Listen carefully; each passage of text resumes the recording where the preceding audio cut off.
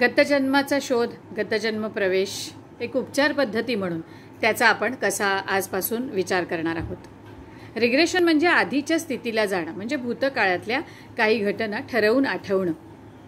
Past life regression म्हणजे पूर्वजन्मामध्ये प्रवेश करणं किंवा गतजन्मांचा अभ्यास शोध आपल्या आपल्या मेमरी मधून घेणं. आता कुणी म्हणेल की कशासाठी याचं सगळं करायचं? पण मूळ कारणांचा शोध घ्यावा लागतो. आपल्या आयुष्यामध्ये घटना घ घडणाऱ्या सगळ्या घटनांचा एक कार्यकारण भाव असतो. कुठल्याही पद्धतीने आपल्या मेंदूमध्ये असलेल्या मेमरीमधून आपल्या आयुष्यात घडणाऱ्या घटना रिपिटेटिव्ह ॲक्शननी आपल्याला अनुभव देत असतात. त्या सगळ्यांचा हा जो लेखाजोखा आहे तो आपल्या अव्यक्त मनामध्ये असतो. आणि म्हणून आपण ह्या पद्धतीने त्याचा शोध घ्यायचा असतो. आपल्याला संपूर्ण वेगवेगळ्या पद्धतीने ज्या मेमरीज आपल्या मनामध्ये साठून राहिलेल्या असतात. त्या सगळ्यांच्या एक अशा वेगवेगळ्या पद्धतीच्या चिप्स आपल्या सगळ्या सेल लेवलवर म्हणजे पेशी लेवलवरती अ, घट्ट धरून असतात. अशा पद्धतीचं हे अंडरस्टँडिंग असल्याकारणामुळे या पद्धतीने येते सात दिवस ह्या थेरपीचा विचार करायचा आहे. या थेरपीचा विचार करताना लॉजिकला थोडंसं आराम द्यायचा आहे आपल्या. कारण वेगवेगळ्या पद्धतीच्या इमॅजिनेशन्सकडे आपण जाणार आहोत. पूर्वस्मृतींमध्ये अडकलेल्या काही ज्या ऊर्जा असतात त्या काही चांगल्या असतात सकारात्मक असतात काही नकारात्मक असतात. त्यामुळे त्याच्या दोन्हीच्या मुळाशी जाऊन आपण आपल्या आयुष्यातले सकार आणि नकार ह्या वेगवेगळ्या पद्धतीने त्याच्याकडे पर्स्पेक्टिव्हनी पाहून बदल करू शकतो. ही ह्या थेरपीची बेसिक अंडरस्टँडिंग आहे. सगळ्यात महत्त्वाचं म्हणजे इमॅजिन कशाला करायचं? आत्ता आमच्याकडे जो काही सगळा प्रकार चाललाय तो काही कमी चाललाय का? अशा पद्धतीचे उद्वेगाचे विचार नक्कीच येत असतील सगळ्यांच्या मनामध्ये. परंतु तरीसुद्धा थेरपी म्हणून जिथे स्वीकार आहे तिथे उपचार सुरू होईल. आणि असं काही नाही आहे की काही काही जणांच्या आयुष्यामध्ये तसं बघायला गेलं तर खूप काही गंभीर सांगण्यासारखं घडलेलं पण नसतं. किंवा तशा त्यांना स्मृती नसतात. हा सुद्धा त्यांच्या एक स्वभावाच्या प्रवासाचाच भाग आहे. परंतु तरीसुद्धा छोट्या छोट्या कंपल्सिव्ह बिहेवियर्स काही व्यसनं आहेत काही राग आहेत काही अहंकार आहेत लोभ आहेत काही पद्धतीचे पजेशन्स आहेत या सगळ्यांमुळे सुद्धा आपल्याला वेगवेगळ्या शारीरिक व्याधी होऊ शकतात आणि केवळ म्हणूनच आपण थेरपी म्हणून या सगळ्या विषयाकडे वळायचं आहे. अनेक लोक स्केप्टिक असू शकतात आत्तासुद्धा सायन्स बेस त्यांना ठाम अशी उत्तरं हवी असतात परंतु त्या उत्तराकडे जाण्यासाठी सुद्धा हा एक मार्ग सोपा पडू शकतो. प्रत्येक माणूस आपल्या जाणीवांच्या पातळीनुसार स्मृतींचा वेगवेगळ्या पद्धतीने अनुभव घेत असतो आपल्या आयुष्यामध्ये. त्यामुळे ह्या मनपटलावर आपल्या ज्या पद्धतीचे रेकॉर्डिंग्ज आहेत त्यांचा थोडासा अधिक जाणीवेच्या स्तरावरून म्हणजे तंद्रावस्थेमधून आपण थोडासा अनुभव घेऊन जर वेगवेगळ्या पद्धतीच्या स्मृती जागवल्या तर आपल्या आत्ताच्या असणाऱ्या शारीरिक विकारांवरती आपण सहजी मात मिळवू शकतो. ह्या पद्धतीच्या खूप एका चांगल्या सात्विक होलिस्टिक अंडरस्टँडिंगनी आपण येते सात दिवस या विषयाकडे पाहायचं आहे. साधारणपणे ह्या पद्धतीच्या आठवणी आठवण्यासाठी आपल्याला काय काय पद्धतीचे अनुभव येऊ शकतील रिग्रेशनमध्ये याच्याकडे बघताना काहींना दृश्य दिसतात म्हणजे अगदी म्हणजे समोर असं आपण सिरियल कशी बघतो कोचावर बसून आपल्या? समोर टीव्ही चालू असतो. आणि त्यांनी जे काही दिग्दर्शकांनी निर्मात्यांनी घडवलेलं आहे ते सगळं आपण जसं चित सिनेमासारखं किंवा चलचित्रासारखं बघतो सिनेमा किंवा पिक्चरसारखं सिरियलसारखं तसं दिसू शकतं. काहींना ध्वनी नुसते आवाज काही वेगळ्या पद्धतीचे ऐकू येतात. काहींना स्पर्शाचं एक भान येतं.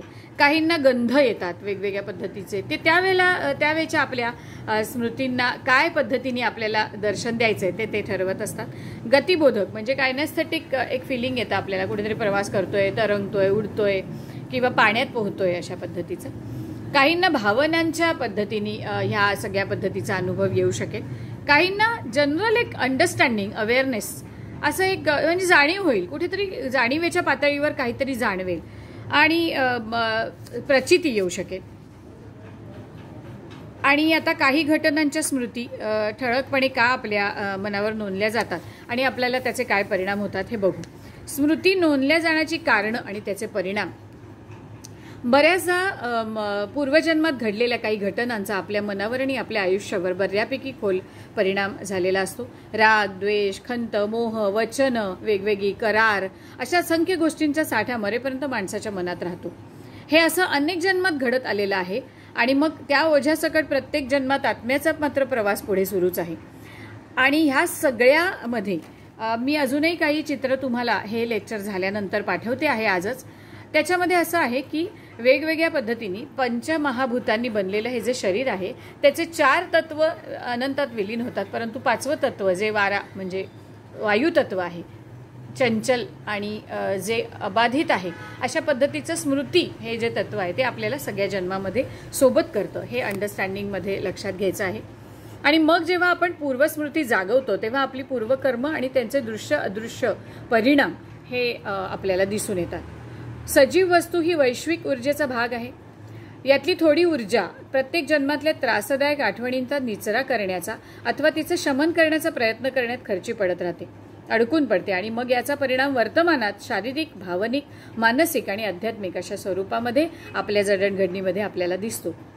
आपल्या आत्मा पहिल्या तीन मिती म्हणजेच आकाश स्पेस काळ टाईम आणि पृथ्वीची चुंबकीय शक्ती अर्थ्स ग्रॅव्हिटी पार करून चौथ्या मितीत क्वांटम व्हायब्रेटरी लेवलवरती जाऊ शकतो. चौथ्या मितीत भूत वर्तमान आणि भविष्य समान पातळीवर असतात. साधारणपणे इक्वॅलिटीवरती आपण त्याचा अभ्यास करू शकतो. गतजन्मात प्रवेश केल्यावर जर आपण मितीत जाऊ शकलो हे मिडल ट्रान्स लेवलला शक्य होतं. म्हणजे लोक तुम्हाला विचारतील शंका. बोलता बोलता सगळे विषय सुचतात त्याप्रमाणे सांगते. विषय तसा खूप मोठा आहे. जसजसं शक्य तसं कव्हर करू. की भीतीदायक तुम्हाला काही आत्तापर्यंत शेअरिंग्ज असतील. की बापरे गतजन्मात नेतात आणि मग आपल्याला तिथेच ठेवतात. असं काही नसतं. किंवा तुम्हाला काहीतरी जादूटोणा करतात तुम्हाला हिप्नोटाईज करतात. अशा पद्धतीचं पण नसतं. हिप्नोसिस ही एक मेथड आहे. ज्या मेथडनी आपण आत्ता शिकताना हिलरकडून किंवा पास लाईफ रिग्रेशन थेरपिस्टकडून आपण सूचना घेणार आहोत. पण कालांतराने ज्या ऑडिओज आणि व्हिडिओजच्या मदतीने तुम्हाला मी सल्ला देणार आहे वेगवेगळ्या पद्धतीच्या रिग्रेशन स्वतः स्वतः कंडक्ट करण्याच्या. म्हणजे कानामध्ये हेडफोन घालून त्या पद्धतीच्या सूचना घेत आपण आठवणींच्या प्रदेशात कसं जायचं आहे ते हळूहळू आपण ह्या सात दिवसामध्ये सराव करणार आहोत. तर या मितीमध्ये मिडल ट्रान्स म्हणजे आपण आत्ता जे तुम्ही माझं हे पाहताय किंवा मी तुमच्याशी बोलते हे संपूर्णपणे अलर्ट अवस्थेमध्ये आपण करतोय. त्याच्यानंतर वेगवेगळ्या पद्धतीच्या वेव्ज आपल्या ब्रेनच्या कशा चालतात. मिडल म्हणजे आता फक्त तुम्ही असं डोळे मिटून असं ध्यान केलं किंवा ओंकार म्हणाला मी तुम्हाला डोळे मिटायला सांगितले की ताबडतोब बाहेरच्या जगाशी आपला संपर्क बंद होतो आणि एका वेगळ्या तंत्रावस्थेमध्ये पटकन आपण शिरू शकतो. म्हणून डोळे नेहमी बंद करायला ध्यानावस्थेमध्ये प्रार्थनेमध्ये सांगतात. किंवा कुठलेही खूप उच्च दर्जाचे आपले जे अनुभव आहेत ते आपण नेहमी डोळे मिटूनच घेतो. यामुळे डोळे मिटल्यानंतर एक वेगळ्या पद्धतीचं जाणीव असते आपल्याला की आपण कुठे बसलोय आपल्या आजूबाजूला काय आहे हे सगळं माहिती असतं परंतु खूप जास्त त्याचं दिसत नसतं. पण हळूहळू जर तुम्हाला झोप यायला लागली म्हणजे हळूहळू जर एक आपण म्हणतो ना एक डुलकी आली मला बसल्या बसल्या तर ती जी डुलकी असते ती येण्याचा जो आधीचा पोर्शन असतो ते मिडल तंद्रावस्था असते. म्हणजे पटकन एखादं दार वाजलं फोन वाजला तर तुम्ही पटकन डोळे उघडून अलर्ट होऊन ते घेता. म्हणजे असं बेशुद्ध अवस्थेत नसता.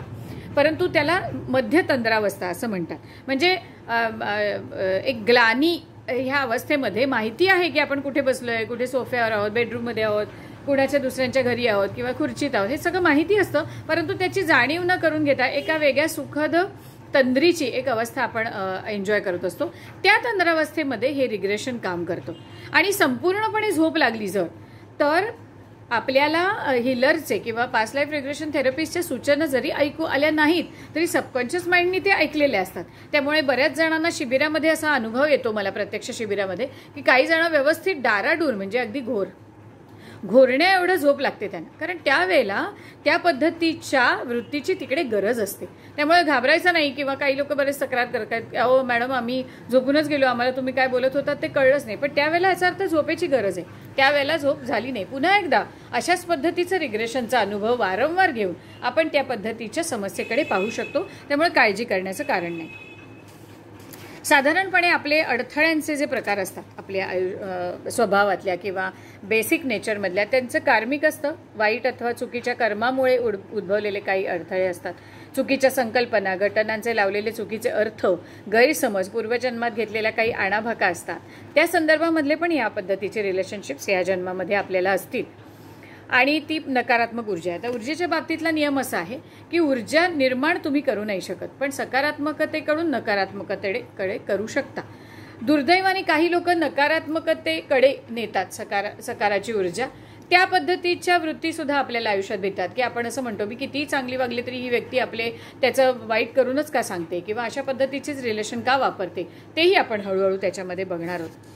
पास लाईफ रिग्रेशन थेरपी अर्थात गतजन्मात प्रवेश करून ह्या ऊर्जेला सकारात्मकतेमध्ये बदलणं निश्चितच शक्य आहे. या तंत्राने आपण वेगवेगळ्या नकारात्मक विचार आणि भावनांचा भावनांना सकारात्मक रूप देऊन वर्तमानातल्या शारीरिक त्रासांचा इलाज मात्र नक्की करू शकतो.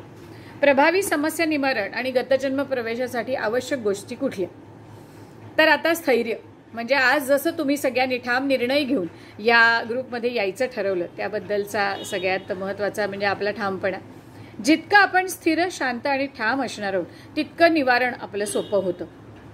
वर्तमानाची आपण तुलना करणार असतो. मात माणसं आहेत नातेसंबंध आहेत व्यक्त होण्याची आपली पद्धत विचार करण्याची आपली पद्धत आलेल्या अडचणी आणि अशा वेगळ्या वेगळ्या गोष्टींचे तुलनात्मक विचार आपण करणार आहोत. काही आपल्याला मेसेज आपण म्हणतो ना एखाद्या घटनेपासून सुद्धा आपल्याला पटकन संदेश मिळतात. म्हणजे तर असं कधी आलं असेल बघा तुमच्या आयुष्यामध्ये की काहीतरी असं बरेच दिवस आपण एखाद्या गोष्टीवर विचार करतोय पण घरातल्यांना किंवा जवळच्यांना बोललेलो नाही पण एखाद्या सिरियलमध्ये सिनेमामध्ये किंवा नाटकामध्ये तशा पद्धतीचा डायलॉग आल्यानंतर आपल्याला काहीतरी रिकनेक्ट झालंय की अरे आपण असाच विचार करतोय. मग हा विचार आपल्या त्या समस्येशी किंवा त्या प्रश्नाशी निगडीत आहे का? असं विचार करून पण तुम्हाला गंमत वाटली असेल. तेही शेअरिंग करा. मी आत्ता जे काही बोलते त्याच्या संदर्भामध्ये जे जे प्रश्न तुमच्या मनामध्ये येतात आहेत ते सगळे लिहा. मृत्यू सगळ्यात महत्त्वाचं म्हणजे वेगवेगळ्या पद्धतीने ह्या सगळ्या रिग्रेशनमध्ये आपण जेव्हा मृत्यू हा पाहणार आहोत तेव्हा आपण त्याच्याबद्दल नीट कॉन्शियसली विचार करणार आहोत. मृत्यूच्या वेळेचे विचार काय होते हे जेव्हा आपण इमॅजिन करणार आहोत तेव्हा आपल्याला वेगवेगळ्या काही आपले छोटे छोटे ब्लॉक्स सुटतात. गतजन्मातला मृत्यू बघताना त्या क्षणी मनात असलेल्या भावना आणि विचार यांच्याकडे अत्यंत नीटपणे लक्ष द्या. ह्या सगळ्या सूचना सात दिवसानंतर होणाऱ्या रिग्रेशनसाठी आहेत परंतु त्यासाठी ही आपली आजच्यापासूनच पूर्वतयारी सुरू झालेली आहे. एल बी एल स्टेज म्हणून पण एक असते लाईफ बिटवीन लाईफ म्हणजे मृत्यू पावल्यानंतर पुन्हा जन्म घेईपर्यंतचा मधला जो काळ असतो त्या काळामध्ये आत्म्याने विश्रांती घेतलेली असते आणि चूज केलेलं असतं डिसाईड केलेलं असतं की आपण आता पुढचा जन्म घेऊन कुठल्या पद्धतीने ह्याच्यानंतरचं मार्गक्रमण करायचं आहे एनर्जीनी असं ठरवलं की जन्म मृत्यूच्या या खेळामध्ये भाग घ्यायचा आहे एनर्जी होतो एनर्जीकडून संपूर्ण एनर्जीपर्यंत असा संपूर्ण तो रेटा पूर्ण करूनच उत्क्रांती किंवा आपण ज्याला मोक्ष म्हणतो की ह्याच्यानंतर जन्म नको बाबा असं आपण नॉर्मली वेगवेगळ्या लोकांकडून पण ऐकलेलं आहे आणि मग हळूहळू आपणही ती फ्रेज वापरायला सुरुवात केलेली आहे. त्यामुळे बनको बाबा हा शेवटचा जन्म आता पुनर्जन्म वगैरे नको मला सुटायचा आहे ह्याच्यातून मोक्ष हवा मुक्ती हवी असं त्रागा करून तसं फारसं काही होणार नाही. आतापर्यंत जो केला असेल तरी सुद्धा राग मानून घेऊ नका किंवा अवघड मानून घेऊ नका. आजी बोलली म्हणून आपण आई बोलली आई बोलली म्हणून आपण बोललो. आजोबा बोलले म्हणून वडील बोलले वडील बोलले म्हणून आपण बोललो. अशा पद्धतीचं हे रिपिटेटिव्ह ॲक्शननी गोष्टी करतो. पण आता आपण त्याच्यामध्ये नीट शिरून जन्मकाळाचा रिबर्थिंगचा पुनरअनुभव घेऊ शकतो. त्यामुळे हे सगळं पार केल्याशिवाय नाती म्हणजे सगळी खाती आहे वेगवेगळ्या पद्धतीचे अकाउंट्स आहेत. ती पूर्ण झाल्याशिवाय मोक्ष नाही. मोक्ष असा त्रागा करून आरडाओरडा करून छाती पिटून मागून मिळणार नाहीये आणि त्याची आवश्यकता पण नाहीये. त्यापेक्षा या सगळ्या गोष्टीला समजून घेऊन म्हणजे मी मगाशी जो शब्द वापरला किंवा फ्रेज वापरली की जिकडे स्वीकार आला तिकडे उपचार सुरू झाला आणि मोक्षही सुरू झाला. क्षमाशीलता. एक वेळ आपण दुसऱ्यांना फसवू शकतो पण आपल्या विवेकबुद्धीला फसवू नाही शकत. त्यामुळे आपण आपल्या केलेल्या अन्यायांचा गुन्ह्यांचा जाब आपल्या मनामध्ये जर विचारत राहिल्यापेक्षा त्याची जर स्वीकृती मनातल्या मनात करू शकलो. म्हणूनच रिग्रेशन ही थेरपी इतकी सुंदर पद्धतीने आपल्यावर स्वतःवर त्याला स्वउपचार संजीवनी असं मी नाव दिलेलं आहे की ती आपली आपणच. म्हणजे एखाद्या वेळेला आपण अगदी अत्यंत विश्वासाच्या व्यक्तीला आपण मान्य करणार नाही की आपण हा गुन्हा केला होता किंवा आपण ह्या पद्धतीचे वाईट विचार केले होते. परंतु रिग्रेशनमध्ये आपण मनाला आपल्या स्वीकृती देणं इतकं सोपं करून आपण त्या पद्धतीचा अनुभव घेणार आहोत की उपचार संजीवनी आपल्या शरीरामध्ये सुरू होणार आहे. त्यामुळे या सगळ्या पद्धतीने हे इंट्रोडक्शन कंप्लीट करते. आत्तापर्यंत वाचले आत्तापर्यंत जे आत्ता मी बोलले त्या त्या बोलण्यामधून सुद्धा तुम्हाला तुमच्या स्वतःच्या स्वभावाच्या पॅटर्न्स स्वप्नांच्या पॅटर्न्स वेगवेगळ्या नातेसंबंधांमधले आलेले अनुभव आणि ते का आले? याच्याबद्दलची जर काही खंत असेल काही असेल तर ती तुमच्या तुमच्या डायऱ्यांमध्ये लिहून ठेवा. एक सार्वजनिक प्रश्न म्हणून एक प्रश्न मला विचारा. मगाशी कालही मी तुम्हाला ग्रुपवर सूचना दिलेल्या आहेत की ग्रुपमध्ये मोकळं बोलायला हरकत नाही. परंतु तरी तुम्हाला असं वाटलं की नको ग्रुपमध्ये वीस वेगवेगळे अनोळखी लोक आहेत. मला नाही माझी समस्या बोलायची. तर ती तुम्ही प्रश्नार्थक स्वरूपामध्ये मला इनबॉक्स करू शकता. याच नंबरवरती मला माझ्या वैयक्तिक काल सुरुवातीपासून जिथे संपर्क केला आहे त्या अकाउंटवर ठेवा. गतजन्म शोधताना ह्या ग्रुपमध्ये आपण फक्त ह्या विषयाबद्दलची चर्चा त्याच्याबद्दलचे माझे उत्तरं माझे व्हिडिओज मी आत्ता काही फोटोग्राफ्स तुम्हाला येत्या सात दिवसांसाठी रिव्हिजनसाठी पाठवणार आहे ते सेव्ह करा. आणि मग पुढे बोलत राहू. आज इंट्रोडक्शन आणि या सगळ्या पद्धतीकडे विचार कसा करायचा आहे याबद्दलचं लेक्चर पूर्ण करते. हे पूर्ण ऐका शांत मनाने हेडफोन लावून पुन्हा पुन्हा माझे क्लिप्स ऐका आणि प्रश्न पुढे पुढे तुम्हाला येणारे सगळे प्रश्न तुमच्या डायरीमध्ये लिहून तुम्ही मला किंवा ह्या ग्रुपवरती पण पाठवू शकता. कारण कसं होतं की एखाद्या व्यक्तीने प्रश्न विचारलेला असला तर ते सुद्धा आपल्याला आपल्याला बरं वाटतं की चला माझ्या मनात आलं होतं पण ह्या वे ह्या व्यक्तीने विचारलं. तर असाही एकमेकांचा ह्या उपयोग होऊ दे येते सात दिवस आपण वीस जण एका कुटुंबियांप्रमाणे राहणार आहोत. We are relatives not seen not watched त्यामुळे अशा पद्धतीचे ज्या अनोळखी लोकांमध्ये आपण काय पद्धतीने संपर्क ठेवू शकतो काय वेगवेगळ्या पद्धतीचे भावभावना निर्माण होत आहेत येत्या सात दिवसामध्ये त्याच्याकडे पूर्ण लक्ष ठेवा आणि खूप एक चांगला मनातला प्रवास चालू ठेवा. पटकन घाईघाईनी माझे हे सगळे व्हिडिओज तुम्हाला प्रेम आणि वात्सल्य वाटेलच एखाद्या मैत्रिणीबद्दल म्हणून पटकन पाठवू नका कारण सात दिवस झाल्यानंतर तुम्हालाही डिसिजन पॉवर येणार आहे की तुम्ही हा विषय कोणाकोणाकडे आणि कशा कशा पद्धतीने काढू शकणार आहात. सो सगळ्यांना निरामय आरोग्य मिळो मनशांती मिळो आणि अतिशय चांगल्या पद्धतीने स्वतःच्या शारीरिक आणि मानसिक त्रासांवरती तुम्हाला विजय मिळवता येवो. हे ही सगळी संजीवनी तुम्हाला तुमची मिळो. ह्या सदहेतूनी होलिस्टिक अंडरस्टँडिंगनी आणि अत्यंत सात्विक हेतूनी आपण शिबिर सुरू करतो आहोत. पहिल्या दिवशीचं लेक्चर पूर्ण करते. यानंतर उद्या एक वाजता पुन्हा ऑनलाईन येईल. तोपर्यंत दिवसभर तुम्ही ह्या ग्रुपमध्ये वेगवेगळ्या पद्धतीचे पोस्टिंग्स करून ठेवा. तुम्हाला आजच्या लेक्चरबद्दल पण काय वाटलं ह्याचा एका थोडक्या शब्दामध्ये स्पेसिफिक स्पीड फीडबॅक मला देऊ शकाल. आणि सगळ्यांनी निर्भयपणे निर्धोकपणे येते सात दिवस हा प्रवास एकमेकांच्या हातात हात घालून पूर्ण करूया. शुभम भवतू.